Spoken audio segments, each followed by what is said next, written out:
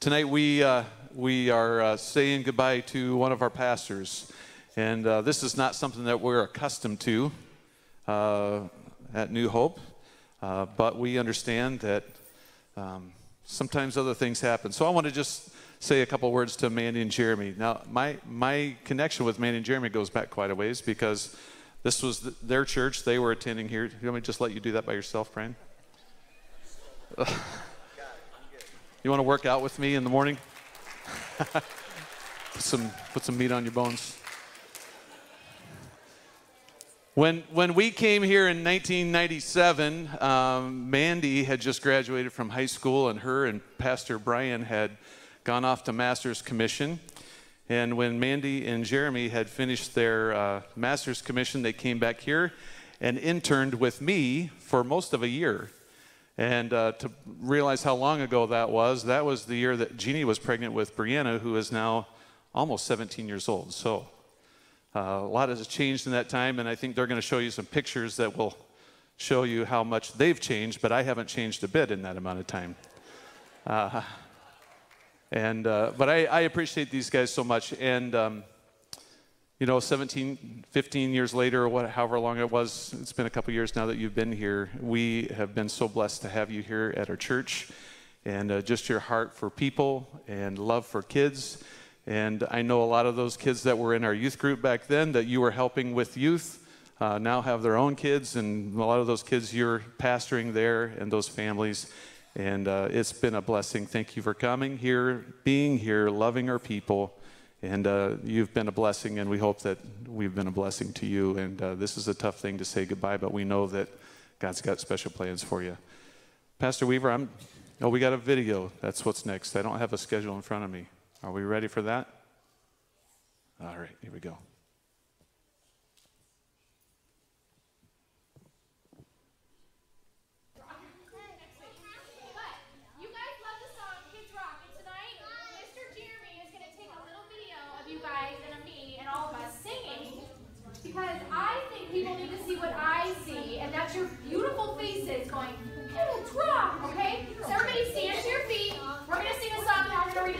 tonight, okay? So everybody stand up.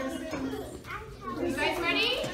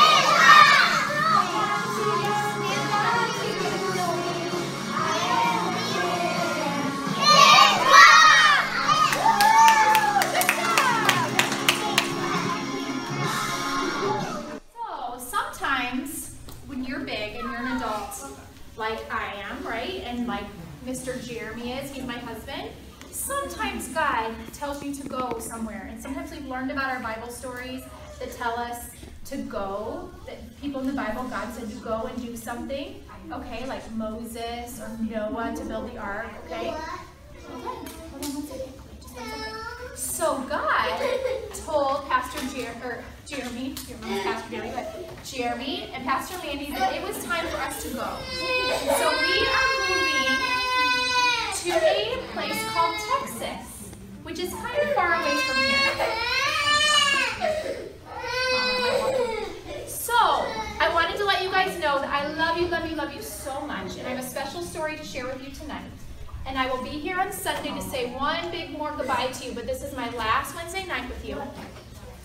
And you're going to have a new teacher come in eventually, okay, a new pastor, and she or he is going to love you so much as well. Oh, you guys are so precious. Okay, so you guys ready for my story? It's really cute. Are you guys ready?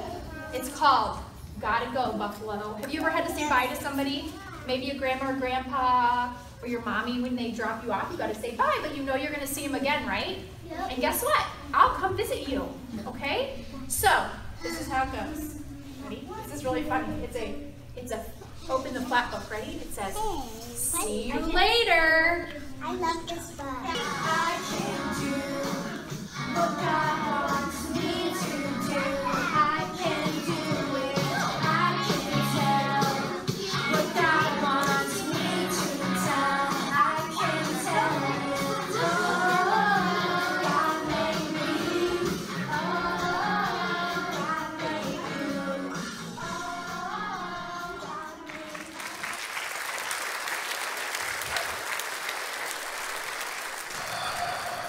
that one anointed child that when she announced it started wailing has my spirit because I did the same thing.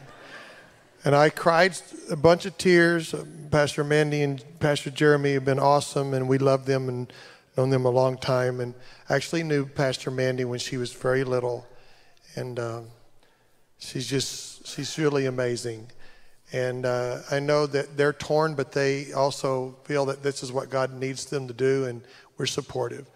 And we're going to miss you terrible. We're going to invite them to come. And uh, do y'all need two microphones at one time or just the one? Okay, we'll have you come, and then we have a little, uh, in a minute, we'll have a little gift for you, and then we're going to pray for you too. But I just want to say thank you, Pastor Mandee.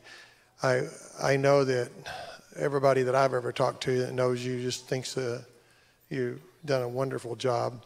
And uh, I believe that our church was instrumental in helping you um, uh, get a vision for the future together. And I'm tr- trusting that there's going to be just some great times together. God bless you, kiddo. I love you. Thank you. I love you too. Oh, that video was so sweet. Some of you are very sneaky getting that video footage from VBS. I always joke, I'm always the one taking all the pictures. I probably got 200 pictures on my phone of all the kiddos, but I never think to get any in any of them with them. So, wow, what a day it's been today. We've been anticipating this day now for a couple of months, and I had to keep pushing the emotions away this morning as parents came through the line and kiddos came through the line. I had to give some last hugs to people. Um, so, Pastor Jeff, you actually said some of the things I was going to say about our background because, you know, I think it's important that people know that we just haven't been here for the last couple of years, you know, and came from who knows where. Like, this is our foundation, is New Hope. And not everybody knows that. But I just wanted to start off real quick with a little bit of humor. This was back to Pastor Jeff days when he was youth pastoring and we were interning under Pastor Jeff. And so, Bree, bring up the picture. I want to show you guys how far we've come. The beautiful um, geek night. This is some fun stuff that Pastor Jeff used to do. And this was, I believe, the week before we got married. Yep, so this was downstairs in the student campus across the way. Um, so this was probably about 18 to 20 years ago. Yeah, 18 years ago, um, this picture was taken. But basically, we met here. We met at youth group at this church at New Hope, and um, we've come a long way. I hope you all think. So anyway, we were called to ministry while we were in youth group here. I know I was a senior in high school when I felt called to children's ministry, um, and Jeremy was also called around that time. Um, we fell in love here. We got married here. We interned here. It was great. So now, Bree, bring up um, our intern picture. There you go, guys. There you go. For all of you that remember us from back then, check out those wool sweaters. We're pretty proud of those. That was probably straight up year 2000. Yeah, okay. but no, really. Okay, so you can take those down now because nobody wants to look at those all night. I told Jeremy we should have provided a more current picture, but you can just look at us here. Um, anyway, but we just wanted to really get across my portion of this is just to say to you guys D- the DNA of New Hope is inside of us, and it always has been. And um, kind of part of our story is that we left here shortly after being married. And for the next 10 years, Jeremy and I did youth ministry, and Jeremy was the youth pastor, and we had great times there. It was quite the ride. Um, there were ups and downs, twists and turns. There were, uh, you know, share our fair share of hurt in ministry. Um, during that time, we had three little babies that are not little anymore. A lot of you guys have gotten to know them and love on them, which is so special. Um, but basically, there came a point where we said, you know what, we need to take care of us in some situations we had gone through, and we didn't want to get bitter at ministry or the church. We knew what God had called us to, but felt like it was time to take care of our little family. And so that started a small, I guess, sabbatical that turned into about six ish years um, when I ran into Pastor Weaver. And if you haven't heard the story of two years ago, don't cry.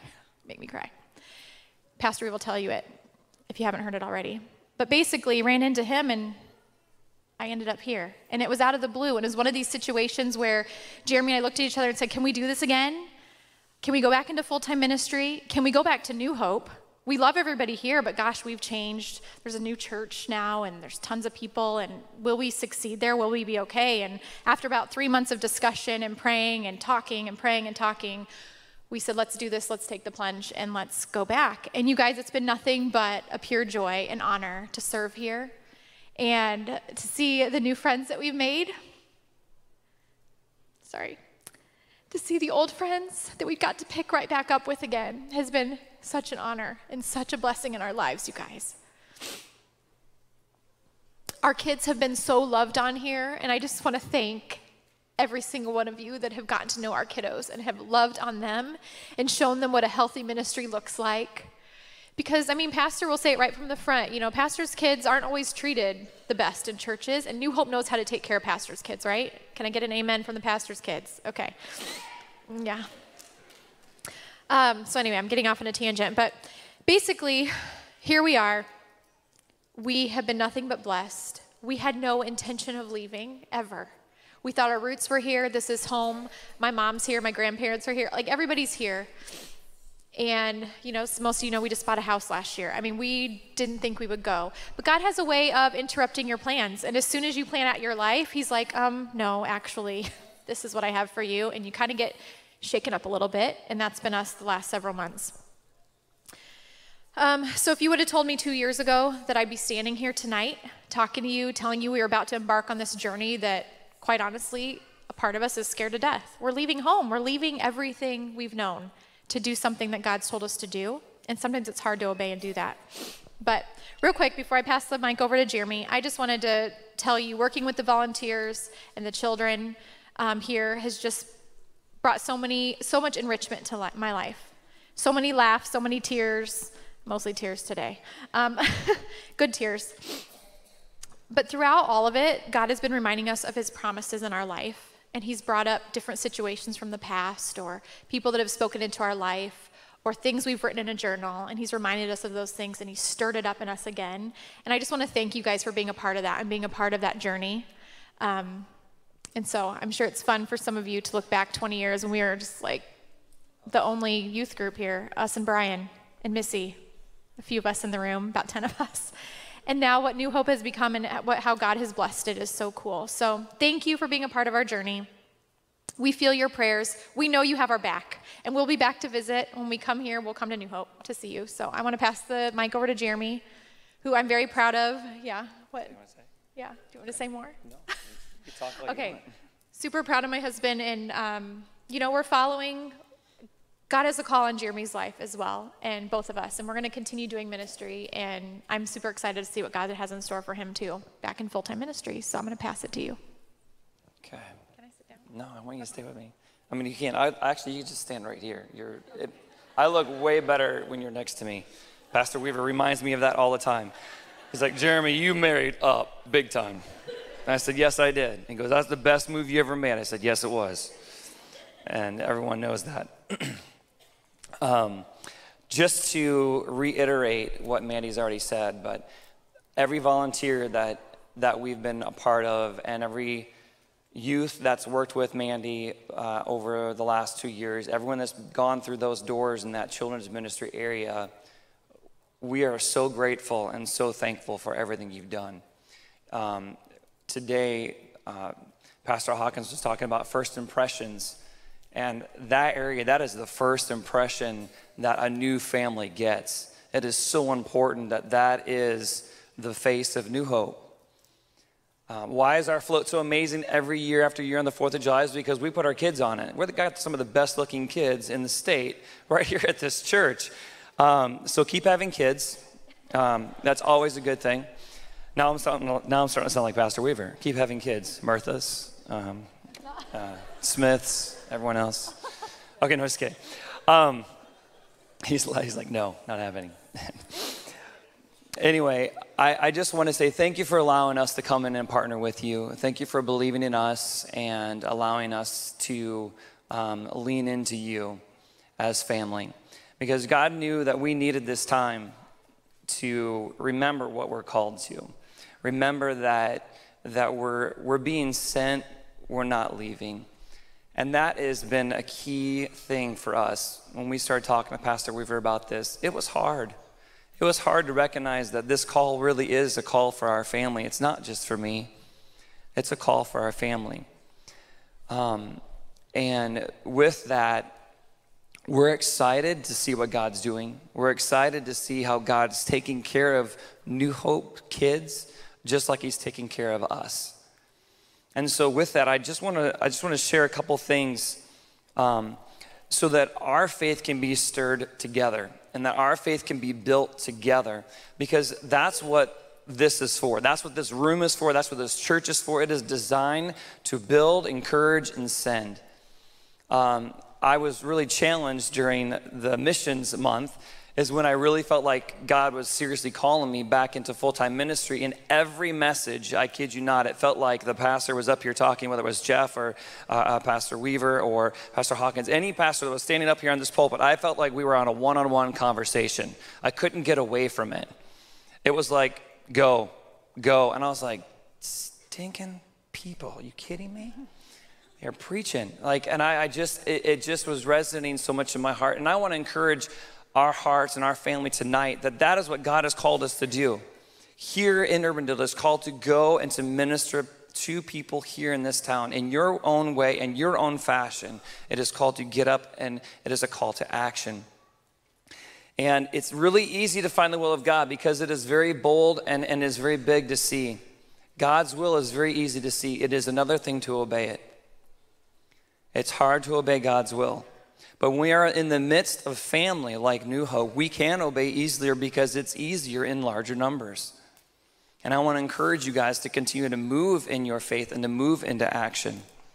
Our hope tonight is not to be sad. It is sad um, because we're leaving a place and, and you're sending us. But again, like Mandee said, the DNA of loving people, of supporting people, of serving people, and showing up for important events in people's lives that goes with us everywhere.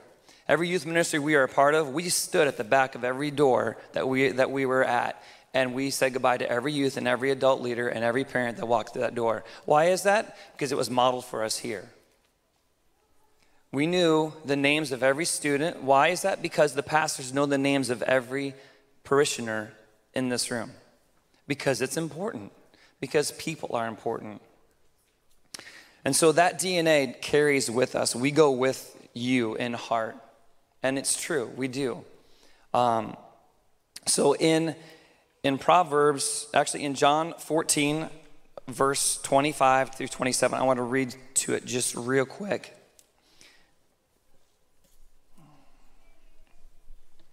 It says, um, John 14, verse, one second, John 25.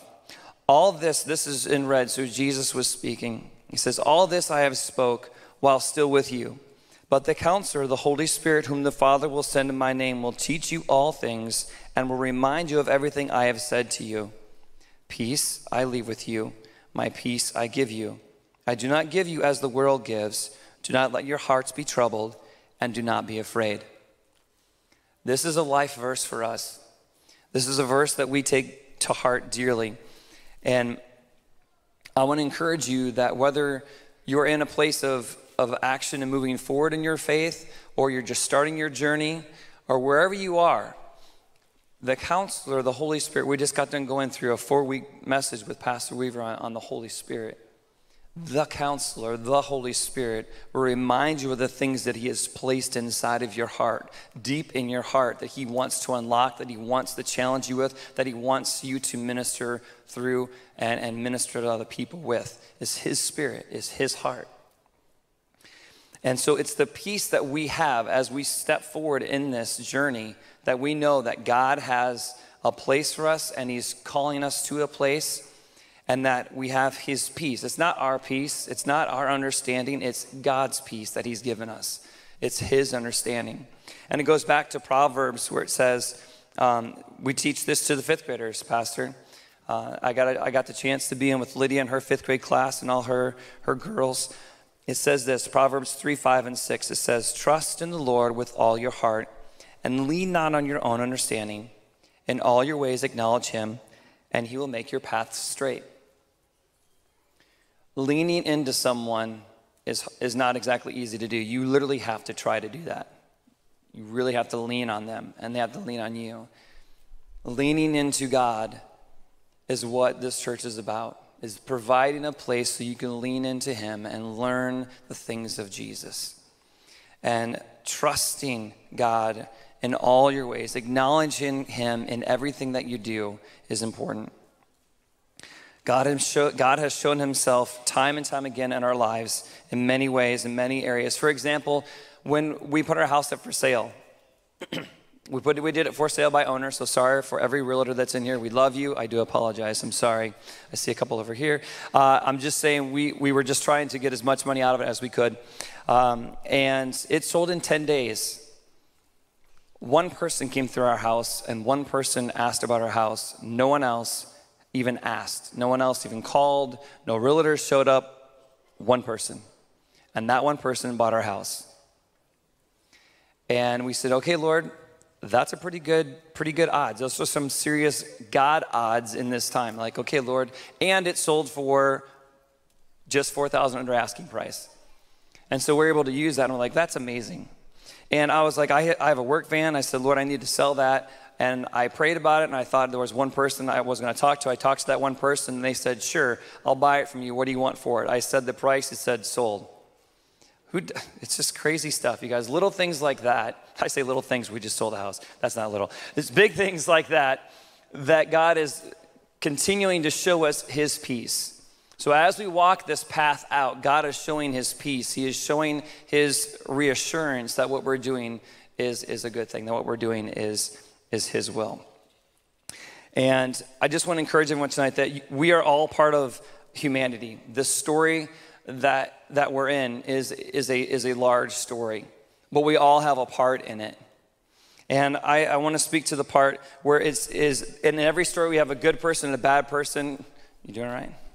Okay. You sure? Okay. Um, every, every story has a good person and a bad person in it.